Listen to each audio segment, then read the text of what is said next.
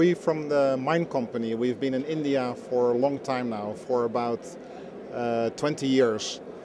Um, our area of expertise is poultry processing.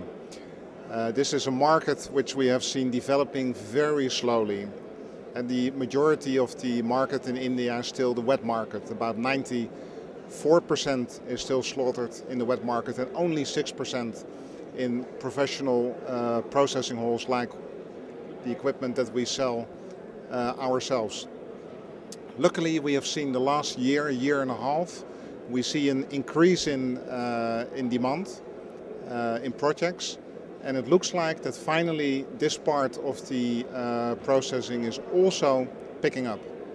We believe that this is the time it's, uh, it's really happening because of a combination of reasons. And on the one side you see the QSRs, the quick service restaurants like KFC, McDonald's, they are very rapidly uh, increasing their outlets. We see a middle class which is growing.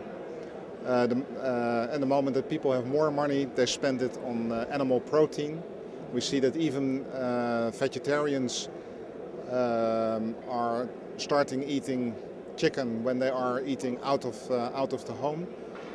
Um, and with a population of, of more than 1.2 billion people, the, uh, the potential of this industry is phenomenal.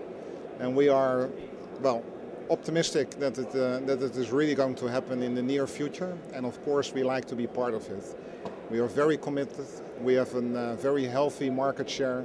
And we are by far the market leader here. Um, and we want to, of course, increase our uh, presence. At the moment we have about 10 processing plants in, uh, in India. Um, we, we, think in birds per hour, so the smallest size plant is 1,000 birds per hour. The biggest size plant that we have is 6,000 birds per hour. Um, at the moment the maximum uh, capacity can be about 13,000 birds per hour, but that is not a suitable business model for India. I think for India the 6,000 and maybe 8,000 as a maximum capacity is uh, a very healthy speed. And that has to do with the infrastru infrastructure, with the cold chain,